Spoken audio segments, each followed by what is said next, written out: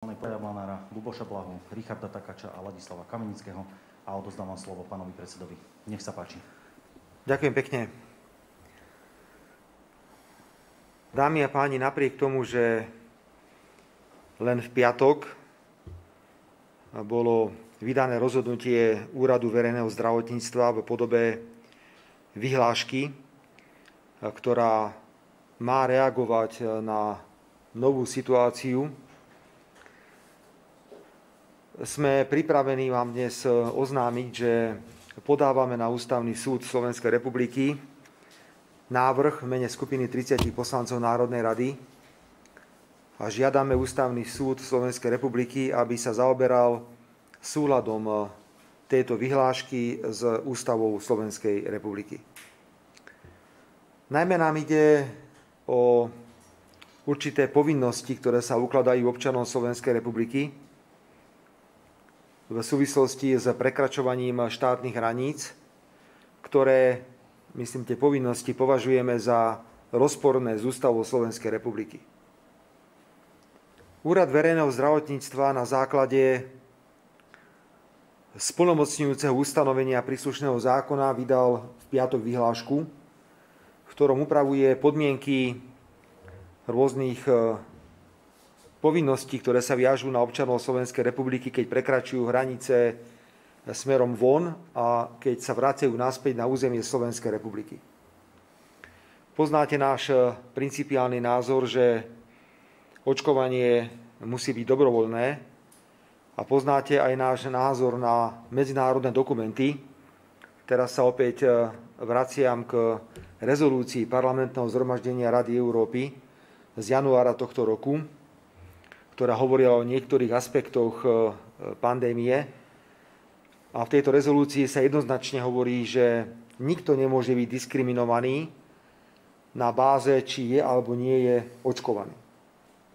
Vychádzajúc z tohto dôležitého rozhodnutia parlamentného zhromaždenia Rady Európy, ktoré zase na druhej strane vychádza z judikatúry Európskeho súdu pre ľudské práva, chceme konštatovať, že povinnosť osôb, ktoré nie sú zaočkované, ísť do karantény na 14 dní po návrate zo zahraničnej cesty je podľa nás diskriminačná aj v rozpore s Ústavou Slovenskej republiky. Predovšetkým argumentujeme tým, že Ústava Slovenskej republiky každému občanovi tohto štátu umožňuje návrat na územie Slovenska bez akýchkoľvek obmedzení, a toto je významné obmedzenie, ak niekoho nútite ísť len za to, že na princípe dobrovoľnosti sa rozhodol nezaočkovať, ísť do 14-dňovej karantény. Toto spôsobuje ľuďom obrovské problémy a bude spôsobovať. Vytvára sa takto nenáležitý sociálny, právny, materiálny tlak na ľudí, aby sa dali zaočkovať, čo je takisto v rozpore s spomínanou rezolúciou parlamentného zhromaždenia Rady Európy. Myslím si, že mnohí ľudia, pokiaľ ide o pracovné pomery, ľudia, ktorí sú reálne zamestnaní, budú čeliť neriešiteľným situáciám. Áno, je pravda, že na piatý deň môžete predložiť e, negatívny výsledok PCR testu a môžete sa ako keby vyslobodiť e, z tejto karantény, ale stále to je 5 pracovných dní, je to, alebo teda 5 dní a môže to byť presne 5 pracovných dní, celý pracovný týždeň ktorý môže mimoriadne komplikovať zamestnaným ľuďom na Slovensku e, osobný život.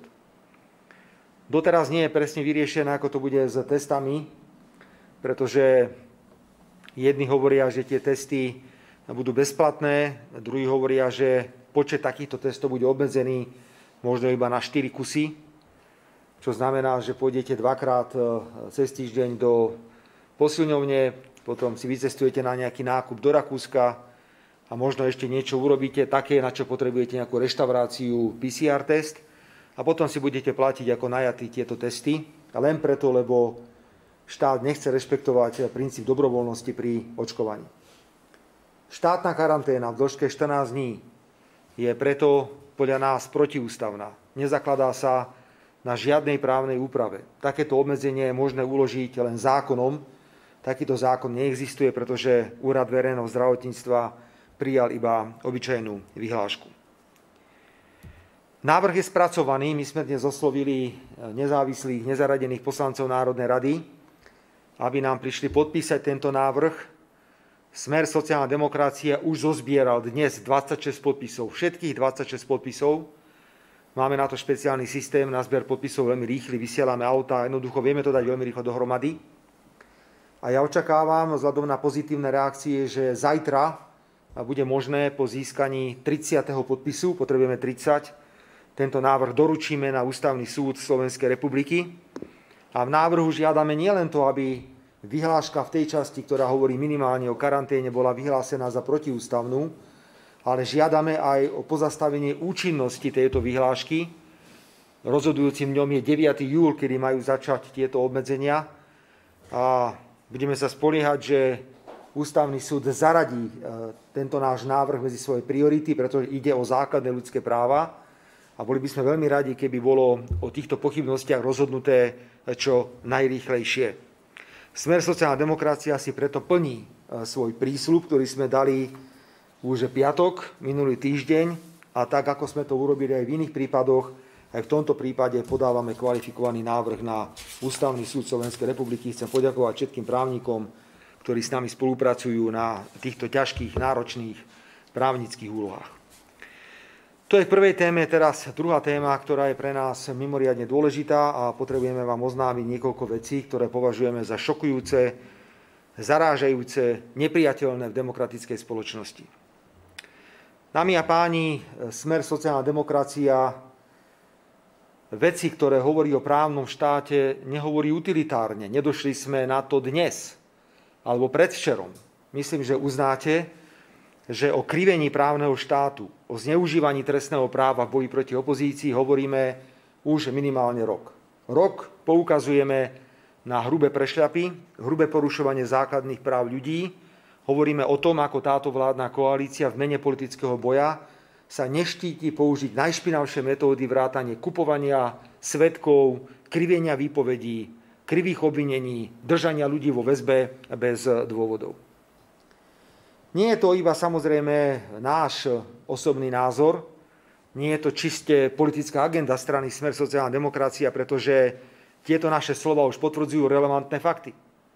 Dúfam, že netreba nikomu pripomínať už takmer slávnu správu Slovenskej informačnej služby, ktorá bola prečítaná v Národnej rade Slovenskej republiky, kde riaditeľ SIS potvrdil, že sú zadokumentované dôkazy, ktoré sú použiteľné v trestnom konaní ktoré potvrdzujú, že trestné konania voči vybraným osobám sú manipulované.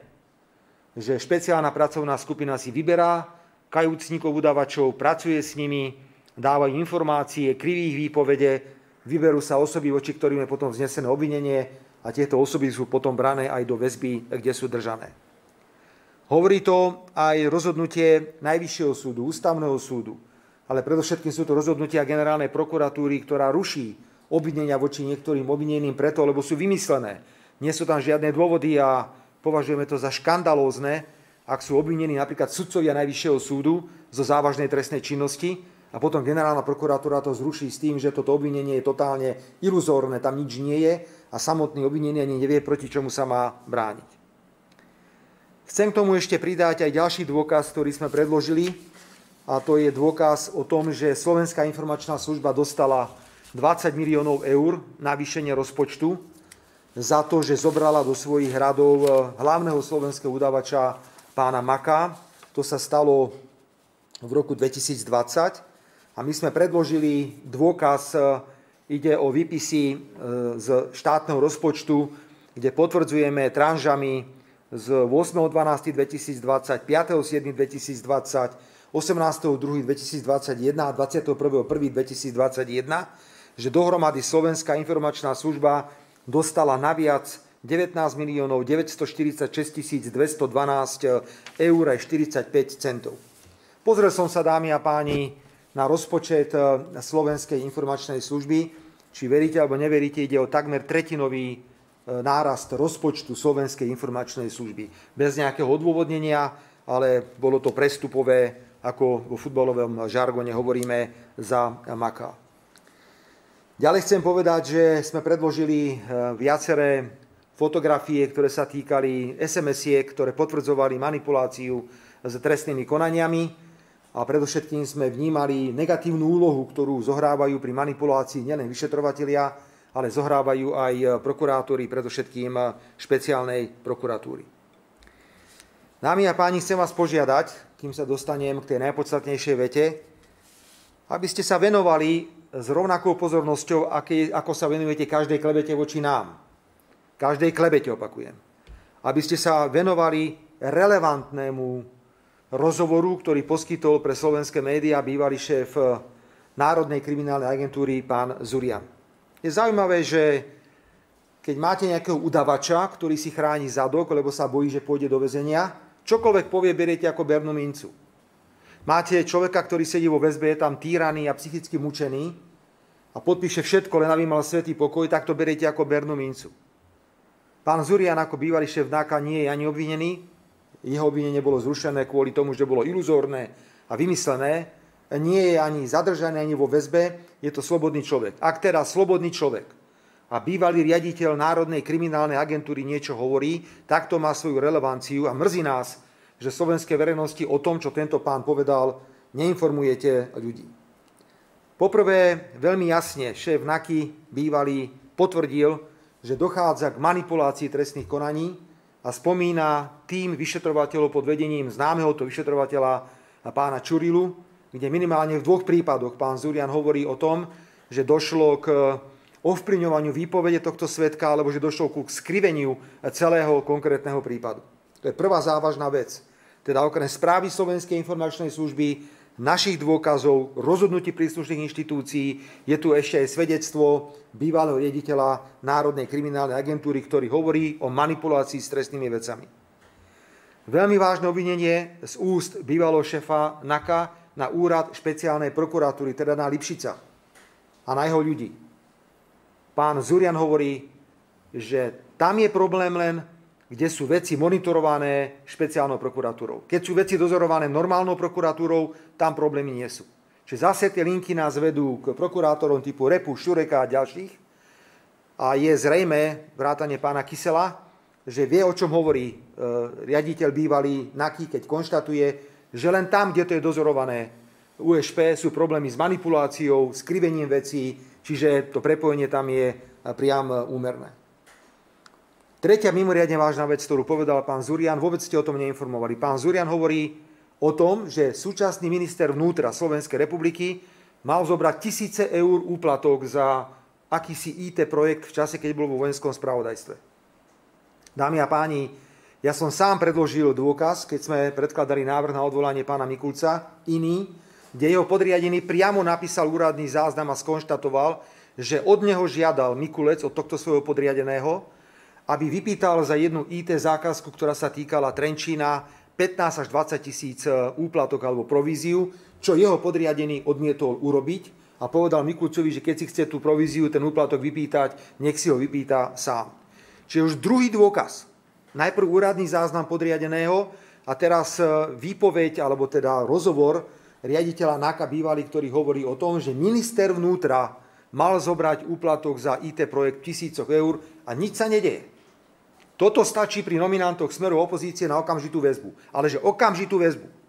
A dobre vieme, že pán Mikulec je poskokom pána Matoviča a robí všetku špinavú robotu, ktorú treba v tejto oblasti urobiť a vie o všetkom, čo sa deje. Nemôže sa tváriť pán Mikulec, že nevie, kto bude zadržaný, aká akcia sa proti komu aj e, chystá. Dámy a páni, e, chcem teraz e, vám ešte povedať aj ďalšiu dôležitú vec, na schôdzi Národnej rady som predložil dôkaz, že nie len teda, že kryja výpovede, ale aj kupujú udavačov. My sme argumentovali veľmi vážne, že nie je možné, aby hlavný udavač, obvinený zo závažnej trestnej činnosti, dostal obriu štátnu zákazku e, cez štátnu poštu. Firma Lama, ktorá patrí pánovi Makovi, hlavnému udavačovi, dostala objednávku vo výške 10 miliónov eur. Ide o strážne služby e, vo vzťahu k pošte akciová spoločnosť. Mnohí protestovali a tvrdili, že nie je žiadny dôkaz o tom, že pán Mako niečo s touto firmou má. Ja som na Národnej rade predložil dôkaz a viacerí poslanci vládnej koalície si tento dôkaz boli aj pozrieť. Ja vám dnes teda presne prečítam to, čo si mohli prečítať aj poslanci vládnej koalície na schôdzi Národnej rady. Mám v dispozícii výsluch pána Maka. Tento výsluch je z 8.10.2020, kde pán Mako hovorí toto. Niekedy v období 2. 3. augusta 2020 som stretol môjho kamaráta, to je teraz jedno, aké meno tam je napísané, a stretli sme sa asi v Omnipolise, pravdepodobne pred touto budovou. Je to v Bratislave na Trnavskej 100. To je presne budova, kde na 6. poschodí je firma Lama. Citujem pána Maka. Tu sídli moja firma Lama SK, kde som výkonný riaditeľ. Priamo pán Mako hovorí o tom, že to je jeho firma a že tam pôsobí ako výkonný riaditeľ. Čiže za nami je táto vec uzatvorená. Štát korumpuje hlavných udavačov, korumpuje. A ma šokuje, že napriek tomu, že to všetci vedia, to tolerujú, lebo si myslia, že pána Maka ešte budú potrebovať na špinavú prácu, ktorú bude vykonávať, ale po tomto všetkom relevancia Makových vyjadrení je nulová. Relevancia Makových obvinení je nulová. A preto som jednoducho rád, že sme dostali takýto dôkaz a môžeme to slovenskej verejnosti oznámiť. Kto to chcete vidieť, vám to veľmi radi ukážeme. Nebudeme vám to dávať dispozícii na fotenie, ale môžete si to pozrieť, aby ste vedeli, čo máme k dispozícii. Štvrtá vec, veľmi vážna, o ktorej hovoril pán Zurian, je, že prokurátor špeciálnej prokuratúry Repa si vybral na východnom Slovensku dvoch vyšetrovateľov. A išli do prípadu, na ktorých bola nastavená aj kontrola, ktorá mala kontrolovať, že či to sa bude riadne vyšetrovať, ako sa má. Predstavte si, v tomto prípade tá kontrola bola zrušená, že dnes v tomto prípade v podstate neexistuje žiadny dozor alebo dohľad nad tým, čo Repa s týmito vyšetrovateľmi robí. Typnite si, o čo ide. Dámy a páni, táto skupina robí na obvinení vedenia Smeru z roku 2016 až 2020, že Smer, sociálna demokracia, je zločinecká organizácia. Ešte raz to opakujem. Prokurátor špeciálnej prokuratúry s vyšetrovateľmi bez dozoru pracuje na prípade, ktorý má viesť k obvineniu vedenia strany Smer sociálna demokracia, že Smer sociálna demokracia je zločinecká organizácia. O čo ide? Je to veľmi jednoduché. Špeciálna prokuratúra, ktorú dnes vedie blízky priateľ a človek eh, Igora Matoviča, pán Lipšic, ktorý mu je zaviazaný za všetko na svete, opakujem, za všetko na svete. Táto špeciálna prokuratúra sa rozhodla naplniť rozkaz Matoviča a to je rozkaz, ktorý dal na samom začiatku tohto volebného obdobia. Kartágo musí byť zničené, smer musí byť zničený za každú cenu. Aj napriek tomu, že nemajú žiadne dôkazy, tak sa pustili do toho, lebo Matovič to povedal. Toto je potvrdenie toho, že čo sa dnes deje v orgánoch činných trestom konanie pod plnou kontrolou Matoviča. A ak chcete nejaký ďalší dôkaz, tak si spomente na to, ako bol zadržaný šéf inšpekcie pán Sabo a hneď na to o 3 hodiny utekal minister vnútra Mikulec spolu s prezidentom policajného prezidí a pánom Kovažíkom na ministerstvo financí za pánom Matovičom, aby sa poradili, čo teraz v tých veciach budú ďalej robiť. Je samozrejme, že aby naplnili túto úlohu, ktorú im dal Matovič, potrebujú nejaké dôkazy. Aj preto sa začali objavovať teraz v poslednom období všelijaké klebety, predovšetkým udavačov, ale je tu aj výpoveď e, človeka, ktorý momentálne sedí vo výkone väzby pána Imreceho, ktorý hovorí o nejakých stretnutiach na úrade vlády, prípadne iných stretnutiach. Dámy a páni, nedovolím si, ani to nikdy robiť nebudem, atakovať človeka, ktorý je vo výkone väzby. Úplne si viem predstaviť, ako tam je týraný a psychicky mučený najmä v tomto teple, tlačia na neho, hovor, hovor, hovor, hovor čokoľvek a dáme ti šancu sa z tohoto pekla dostať. Preto sú tu rôzne vyjadrenia typu, že boli nejaké stretnutie a neviem, čo všetko bolo. Chcem to povedať ešte raz a veľmi jasne. Plne si uvedomujem situáciu, v sa nachádza pán Imrece, v akom ťažkom eh, stave musí byť v týchto dňoch a v týchto týždňoch. Rovnako chápeme, prečo si vymýšľajú udavači. To sme už povedali tisíckrát. No bodaj by si vymýšľali, keď dostanú štátnu zákazku 10 miliónov eur a môžu si lietať do Dubaja na dovolenku, prípadne im je dobre tu na Slovensku.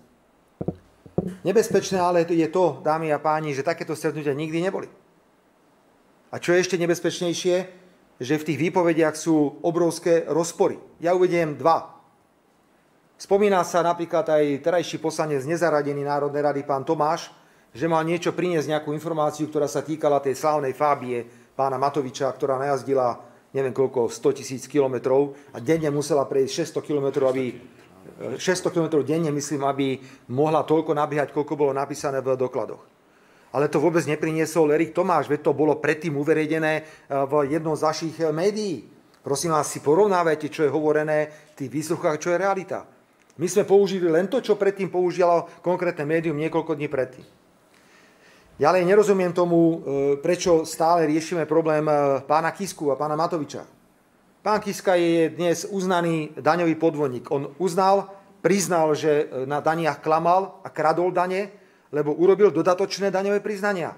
A je evidentné, že v prezidentskej kampani klamal, lebo si prefinancoval náklady svojej prezidentskej kampane cez svoju firmu KTAG. Matovič je uznaný daňový podvodník, nie je zatvorený len preto, lebo bolo premlčané trestné stíhanie. Dámy a páni, keby sme nasadili parametre, ktoré sú dnes nasadené na väzbu, tak aj Kiska a Matovič musia sedieť vo väzbe. Pretože títo ľudia sú tak podozriví, dokonca aj sa priznali k trestnej činnosti, že by automaticky e, museli byť už možno aj právoplatne e, odsúdení. A ak došlo potom k trestnému stíhaniu Kisku, tak došlo až v roku 2019. A to preto, lebo pokyn dala prokuratúra. Takže je obrovský rozdiel, pretože ako som tisíckrát zúraznil, my sme nikdy nezneužívali trestné právo. Keby sme boli takí všemovúci, ako sa v týchto výpovediach hovorí, tak Kiska Matovič dneska sedia na 15 rokov vo výkone trestu odňatia slobody. A tí, čo sedia vo výkone trestu odňatia slobody, alebo čo boli obvinení za našej vlády, by neboli ani obvinení a určite by neboli ani daní do výkonu trestu odňatia slobody. Jednoducho nesedí to. V žiadnom prípade to nesedí. A môj postoj je úplne jasný ešte raz. Takéto stretnutia neboli. Tlačia udávačov, tlačia E, ľudí, ktorí sedia vo väzbe, aby rozprávali, rozprávali a rozprávali, lebo kto iný, samozrejme pán Repa, no však už ani iné meno snáď na tej špeciálnej prokuratúre neexistuje, potrebuje nejakú hmotu, aby si vymýšľali nezmysly a vytvárali obraz na základe, opakujem ešte raz, pokynu Matoviča. Toto je politická vôľa Matoviča. A dnes úrad špeciálnej prokuratúry cez e, Lipšica, ktorý slúži Matovičovi, plní pokyny, ktorý, ktoré robí predseda Olano smerom k ním. Dámy a páni, ak e, vôbec tu nejaká organizovaná skupina bola niekedy, no tak to bola tá 17. mája, ktorá sa stretla na Slovenskej informačnej službe. Tam hovorili o živých prípadoch. Tam sa bavili o krivení a manipulácii trestných konaní. Dnes je úplne evidentné, že sú pokyny na to, aby ľudia boli braní do väzby, aby boli stíhaní, aby boli odsudzovaní. Takže je mi ľúto, ale dnes musíme konštatovať, že je škandalózne, ak úrad špeciálnej prokuratúry, ktorý vedie pravoplatne odsudený človek, Dvojka je človek, ktorý je dvakrát disciplinárne stíhaný. A kde sú prokurátori, ako je Repa a Šurek, ktorí sú pri všetkých špinavostiach, s ktorými sa stretávame, keď sa bavíme o týchto veciach, dnes pracujú na tom, že chcú obviniť vedenie Smeru, len tak na základe klebiet, že boli nejaké stretnutia, ktoré aj neboli z organizovanej trestnej činnosti, z organizovaného zločinu, čo je v danom okamihu nevýdané. A my budeme na tieto E, udalosti a informácie poukazovať aj ďalej. Potreboval som za dôležité sa k týmto veciam vyjadriť. Znovu pripomínam, veľmi vás žiadam, informujte verejnosť, čo hovorí bývalý riaditeľ NAKA pán Zurian. To sú šialené veci. Ak hovorí o úplatku pre ministra vnútra, ak hovorí, že sú manipulované trestné konania, ak hovorí, že len tie trestné konania sú manipulované, ktoré sú cez úrad špeciálnej prokuratúry monitorované, to predsa nie je možné, aby sa takéto veci ignorovali a potom nejaký udávač povie nejaký výmysel, už mu neveríme ani, že má nos medzi očami a to je hneď predmetom pojednávania, lebo to sa týka smeru sociálna demokracia, to má pochopiteľne svoju relevanciu. Toľko, pokiaľ ide o dve základné témy, ktoré sme dnes chceli pred vami komunikovať. Ďakujem pekne, nech sa páči vaše prípadné otázky. Dobrý deň, Horvátová RTVS. Keď ste spomínali, že mnohé tie okolnosti smerujú k tomu, že má byť vznesené obvinenie na smer ako zločineckú skupinu, vy už v tejto veci ste, ja neviem, boli vypovedať, alebo máte nejaké... My, nie, neboli sme, nie, nebol nikto ešte vypovedať, ale chcem eh, potvrdiť slova, ktoré povedal bývalý šéf NAKA v tom rozhovore, že boli stiahnutí vyšetrovateľa z východného Slovenska pod kontrolou REPu. A my máme interné informácie, že Veľmi intenzívne pracuje Repa a jeho tým na hľadaní akýchkoľvek blbostí, pretože toto, čo sa okolo šíri nás, sú obyčajné blbosti. No jednoducho je to, za každú cenu chcú zničiť smer. Prečo? No pretože smer sociálna demokracia sa postavil voči týmto svinstvám. My veľmi jasne pomenovávame veci, nosíme dôkazy. Pani rektorka, My nechodíme s klebetami ani na rokovanie Národnej rady, ani na tlačové konferencie. Ak vám teraz hovorím, že mám dôkaz, že Mako je majiteľom e, spoločnosti Lama, ktorá dostala obrú štátnu zákazku, môžete si to prísť pozrieť. Ak vám hovoríme, že Slovenská informačná služba dostala 20 miliónov, poďte si to prosím pozrieť. Ak chcete vidieť e, fotografie SMS-iek, úradné záznamy, poďte si to pozrieť. Všetko, čo tu predkladáme, máme podložené konkrétnymi dôkazmi. A ešte teda k medializovaným informáciám uplynulých dní, čo sa týka vyšetrovania pána Matoviča, Kisku, Baštrnákových ľudí. Vy ste sa k tomu teda zatiaľ ale nevyjadrovali. Viete poprieť, že boli stretnutia za vašej prítomnosti? Počúvali ste ma, alebo ste ma nepočúvali pred minútou. Ja som povedal veľmi jasné stanovisko, ako to celé bolo. Veľmi jasne som sa presne k tejto vašej otázke vyjadril. Neboli teda stretnutia na úrade? Stretnutia také, aké boli popisované, žiadne neboli. A znovu ešte raz prosím, pozrite si, kto došiel s informáciou, o aute, ktoré zneužíval aj svoju matku, e, ktorú zneužíval Matovič na daňové podvody, že kto tú informáciu priniesol a až potom došiel Erik Tomáš s touto informáciou. Pozrite sa, že v roku 2016 bolo zastavené trestné stíhanie v Kiskovej veci. Keby to tak bolo, ako hovoria pani redaktorka, tak všetci dnes sedia vo vezení. Ale my sme nezneužívali trestné právo, ako ho zneužívajú oni teraz. A my hovoríme o dôkazoch, o jasných dôkazoch, nie o klebetách, chudákov ľudí, ktorí sedia vo OSB, ktorých tam trápia a udávačov, ktorí povedia čokoľvek, čo len chcú povedať. Toto už sú ale vypovede troch ľudí, ktoré nasvedčujú tomu, že takéto stretnutia prebiehajú. Dvaja udávači a človek, ktorý je týraný 40 stupňových teplotách vo výkone väzby. A vás netrápi Zurian, čo rozpráva vôbec podľa všetkého. To je zaujímavé, že tu jednoducho je otázka, bavíme sa o Kiskovi. Kiska preukázateľne podvádzal prezidentskej kampani. Preukázateľne. Preukázateľne sa priznal daňovým podvodom, lebo robil dodatočné daňové priznania. Matovič bol uznaný, len ho nebolo možné odsúdiť, lebo trestné stíhanie bolo premlčané. Čo my s tým máme? Akože my ešte zodpovedáme za to, že Kiska podvádzal prezidentskej kampani a že robil daňové podvody? My zodpovedáme za to, že Matovič robil podvody s autom, s nejakými tlačiarenskými strojmi a so všetkým. Čo my s tým máme, prosím vás? A tu nám máte... Čo sa mala diať? Ako sa mala diať? Však neboli vyšetrovaní, rozumieme tomu ešte raz, veď on sa priznal. Veď Kiska urobil dodatočné daňové priznania, to znamená, že sa priznal k spáchaniu trestnej činnosti. A Matovič tam bolo zastavené kvôli premlčaniu e, trestné stíhanie. A títo ľudia preukázateľne, veď si pozrite uznesenia rozhodnutia, ktoré sú dané k dispozícii, a dnes je Kiska stíhaný na základe pokynu prokuratúry. Naopak, toto je problém, čo dnes hovorí Zurian. A čo tá skupina, ktorá sa stretla 17. mája? Tá sa zaoberala živými vecami, tá sa zaoberala ľuďmi, ktorí sedia vo väzbe. Tá sa zaoberala prúserom, ktorý majú, o ktorom dnes hovorí prakticky už každý na Slovensku. Takže venujte sa prosím relevantným veciam a nie klebetám. Čiže v podstate výsledkom tohto bordelu, ktorý to narobil Matovič, je to, že poďme, lebo smer, poďme sa venovať zase smeru. Tu je veľký problém, pani redaktorka. A ja neviem už, keď povie šéf NAKY, už druhý človek, ktorý je blízko ministra vnútra, že bral úplatky a vás to vôbec neťuká. Vám to je úplne jedno. A vy sa mňa pýtate, či bolo nejaké stretnutie na úrade vlády. A čo tam bolo na tom úrade vlády, ja stále neviem. Ja som si čítal tie veci, ktoré zverejňujete. Niekto hovorí o nejakých stretnutiach. Znovu zopakujem, takéto stretnutia neboli. A plus upozorňujeme na obrovské rozdiely v tých výpovediach, pretože no chudák Imrece, čo má robiť? Však tam na neho tlačia, dávajú mu všetko možné podpisovať. Úplne živo si viem predstavíte výsluchy, ktoré voči nemu absolvujú. A čo má robiť Mako? A čo má robiť Slobodník? No budú len tárať. Po tomto všetkom, čo im hrozí, budú len tárať. Iné možnosti dnes nemajú. Ak je toto pre vás dôveryhodné, zvláštne je, že Mako je pre vás dôveryhodný, Slobodník je pre vás dôveryhodný, hoci sú to udávači.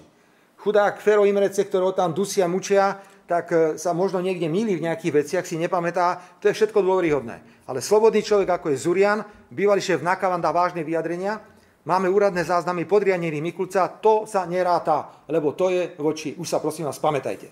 Fakt vás prosím sa spamätajte. Táto krajina je v totálnom rozklade. rozklade.